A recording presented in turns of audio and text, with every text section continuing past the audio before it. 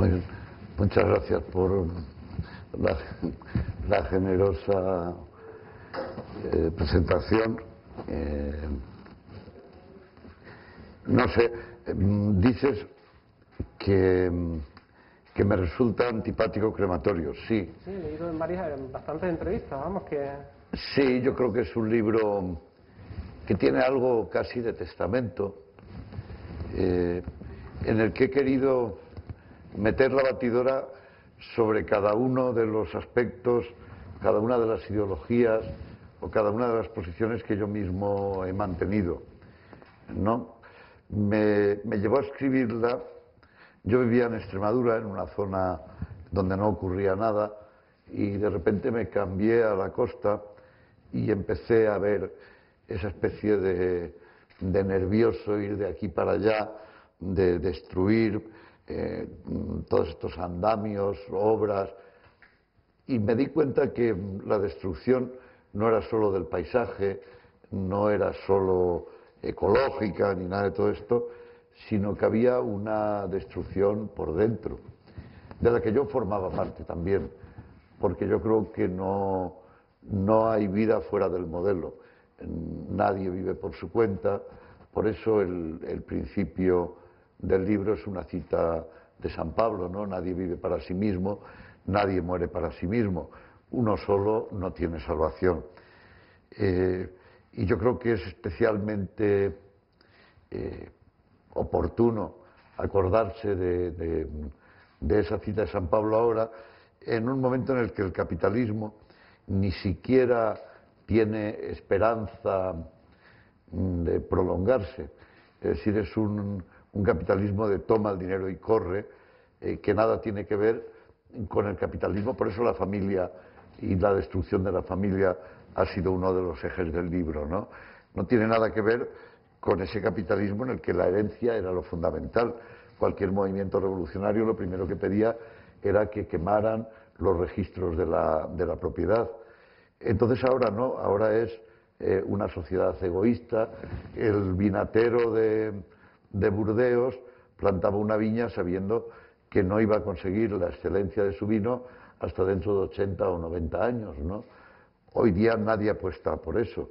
Eh, nadie construye una catedral que va a durar la obra 400 años. No, es todo arquitectura de Quitaipón, eh, vidas de Quitaipón, eh, rapidez. Yo creo que del mismo modo que todas las épocas se pueden resumir en, un, en una imagen, la imagen de ahora sería ese continuo eh, destruir y construir que forma el centro del libro y su droga sería eh, la cocaína, esa especie de, de, sacarle las 24 horas a las 24 horas, ¿no? Eh, que hay un momento que lo dice el personaje, ¿no? Mm, dice, yo creo que, que la cocaína es la droga de nuestro tiempo eh, porque es el tiempo sin tiempo, es consumirlo todo en un instante, ¿no?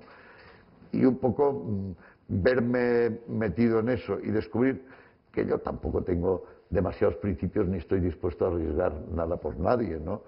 Eh, cómo cambiar de vida ahora, eh, cómo poner en cuestión tu propia, sí, tu propio bienestar, ¿no?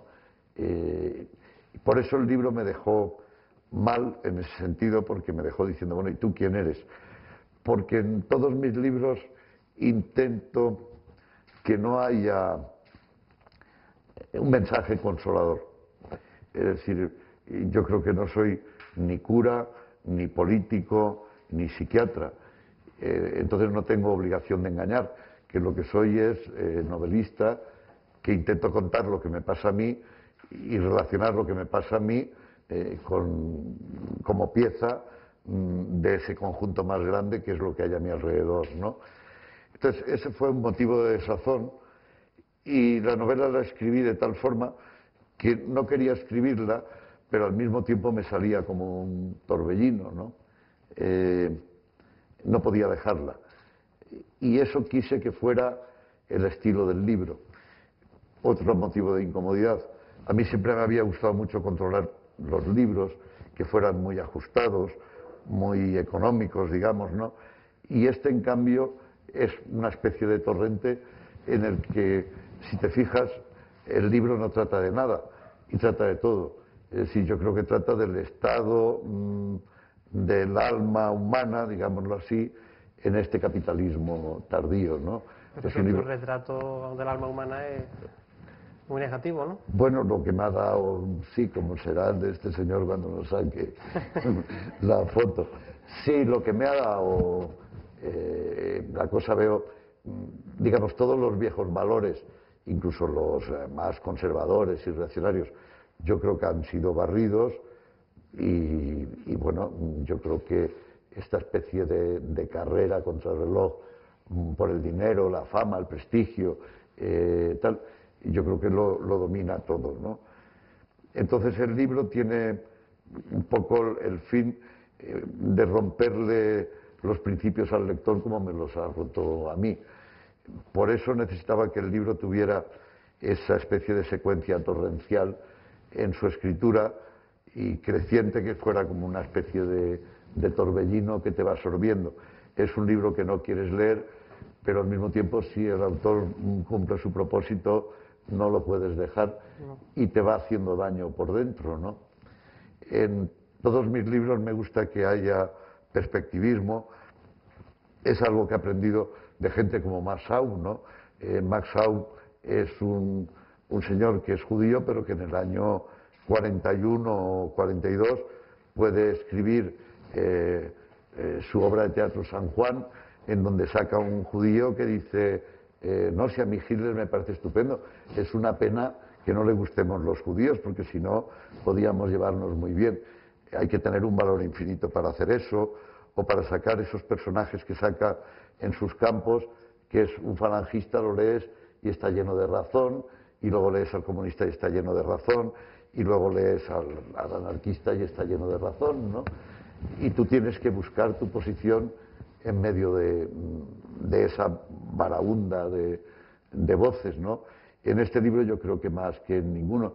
Lo que pasa es que aquí yo creo que los despreciamos a todos y sin embargo eh, hay una cercanía hacia los más, hacia los peores, hacia los más malvados, ¿no? Eh, la gente me decía, hombre, parece que el personaje positivo es el malo. Y dices, bueno, vamos a ver, si tú aceptas que es un personaje positivo, alguien que acaba de quemarle el coche a su protegido, que se supone que ha matado, que mata caballos porque los usa para traer cocaína, esos animales inocentes, que ha hecho la fortuna traficando con los rusos. Y dice, no, pero es que es simpático. Bien, bueno, es que es parte de ti toda esa mecánica también, ¿no? Y hay eh, una especie de... Bueno, eso está en todos mis libros, ¿no? Eh, digamos, entiendo más al que mata para comer que al que come de lo que otro ha matado y finge que no le gusta la carne, que es un poco eh, personaje que cruza todas mis novelas, porque el personaje, este es el personaje de la caída de Madrid, José Ricard, o es el personaje de Carlos Tiscar en los disparos del cazador, ¿no? Eh, no me gustan los inocentes predicadores o los predicadores inocentes, ¿no? Eh, no me gusta eh, la gente que vampiriza la culpa de otros para salir purificado y salir sin, sin culpa, ¿no? Y eso creo que es algo que está dentro del libro y que hace que el lector a veces se siente identificado con estos malvados, ¿no? Al fin y al cabo, yo creo que es un personaje que tiene antecedentes en, la literatura muy, muy rigurosos y muy atractivos. Es el Botrén de, de, Balzac, ¿no? ese malvado del que todo el mundo vive y que les ha organizado la vida a todo el mundo. Le organiza la vida a la chica, le organiza eh, la vida a, todos. Eh, o es el personaje de Torquemada, de Galdós, que a mí es uno de los mejores personajes de la literatura española, ¿no? Se casa con la Cruz del Águila y las Cruz del Águila mantienen sus formas y tal, pero todo el mundo eh, vive de este tipo antipático, eh, estafador y prestamista que uno acaba descubriendo que es mejor que los que los que lo rodean, ¿no?